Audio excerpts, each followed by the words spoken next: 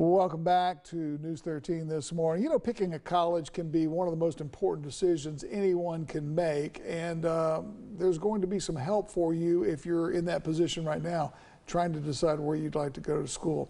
We have uh, Doug Ream and Carl Dixon here with us from Gulf Coast State College. Gentlemen, thanks for coming in this morning. Thanks for having us. You're here to talk about College Night, which is one of my favorite events that takes place at the college. Uh, it's coming up this week? Yes, sir. Yep. It's this Thursday, September 12th from 6 p.m. to 8 p.m.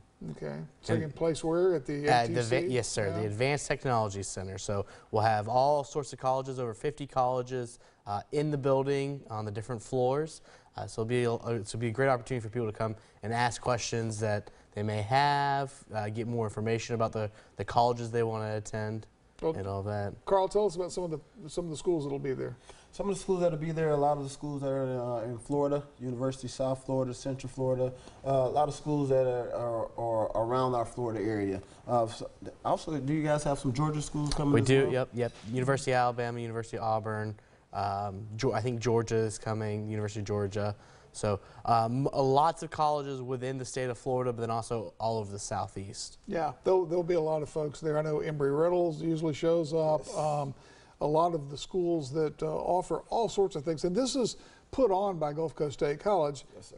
but it's not just about going to Gulf Coast State College. Again, all these schools are there to tell you what, what it's about. Now, who can go to this this evening? That's that's a great thing. Anyone can go. It's it's it's really geared towards juniors and seniors.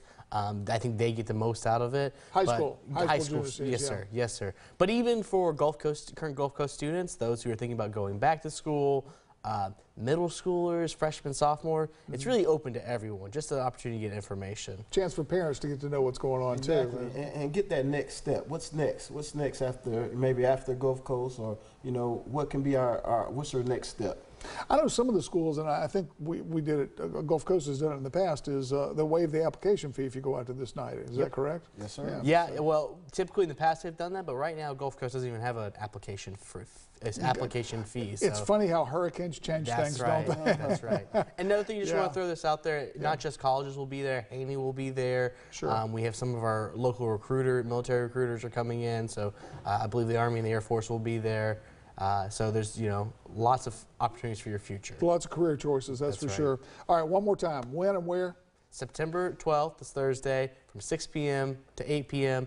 The Advanced Technology Center at Gulf Coast State College. Guys, thanks for being with Thank us. you Appreciate that. us. Good luck. And if you're interested, call Gulf Coast State College. They'll give you all the details on that. We'll be back in just a moment. Stay with us.